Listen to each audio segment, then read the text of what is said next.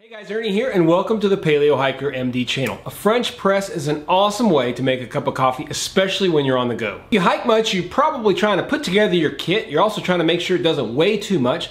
And you gotta make a lot of choices because things can get pretty expensive. Stay tuned and today I'm gonna show you guys how to make a super lightweight, simple French press out of some gear you may already have, or if you're in the market for a cook pot, you might wanna get one of these to make it happen. Thanks for watching.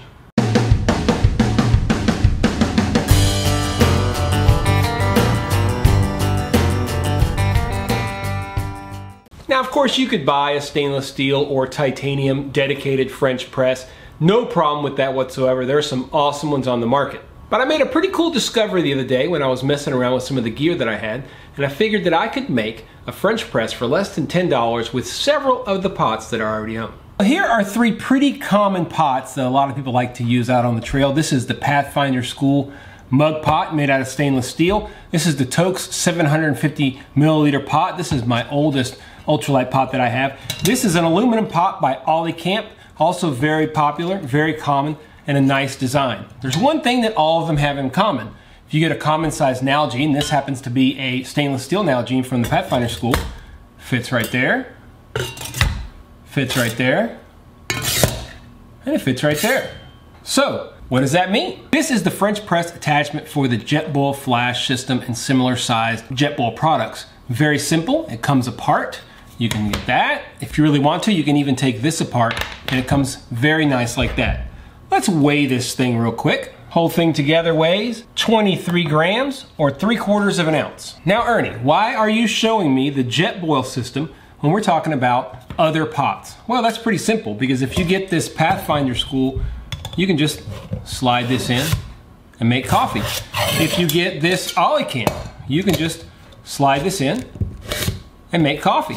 It creates a very nice seal. And this Toaks 750, a very, very popular pot, you slide it in and you can make coffee. The design from JetBoil, as you can see, has little fingers right here, okay? And those allow some flexibility on the size of the pot. Now this is an older model. They have a new model that I think has silicone across the edges. You can still find these. Now I don't know if the silicone model fits as well. It should basically be the same thing.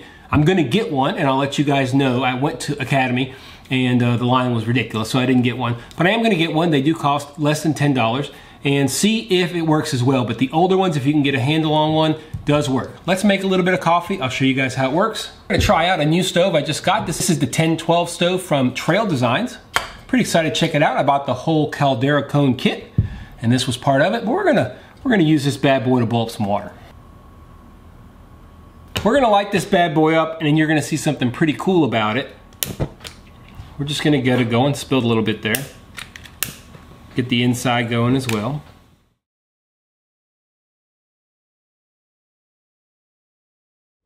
We'll add some coffee to our hot water.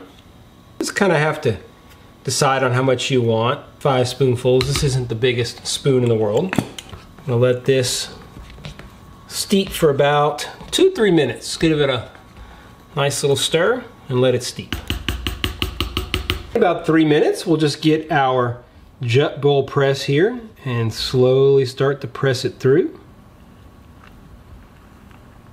Now, I like to have a second cup. I just happen to have one. If you want to drink straight out of here, you can. It's kind of a pain, I'll admit. But again, if you're trying to do something a little bit different and convert things into a French press, otherwise you wouldn't, pour your coffee. There you go.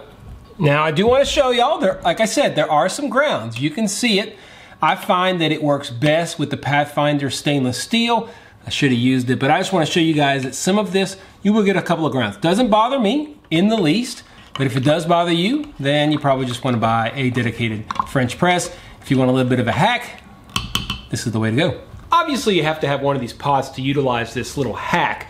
But if you're looking for a pot, the Toaks 750 or the Pathfinder stainless steel are very common pots that a lot of people carry. They also happen, as I said, to fit an Nalgene bottle, and I think most that fit an Nalgene bottle just a little loosely, we'll be able to use this kit from Jetboil to make it into a French press. If you take the Jetboil itself, it'll slide a Nalgene right into it very nicely, so just something to keep in mind. Instead of having a cook pot and a coffee press, why not make them one the same? And this particular coffee press insert for the Jetboil folds away, stows very neatly, and is super lightweight. Not sure if you guys are aware, but I have a full playlist on coffee. I call it Coffee in the Woods. I'll make sure and add this video to it and go check it out because it's got awesome videos about making coffee all over the place, from the woods to the trail to hotel rooms, always on the go. Do me a favor guys, if you liked the video, please hit the thumbs up down below. Really helps spread things across YouTube. If you wanna make sure you don't miss any videos, hit the subscription button if you're not already subscribed, and make sure you click that ding dong bell as well, and you'll be notified when I put out new videos. This is my newest kind of quick video that I'm making, trying to put things together very quickly,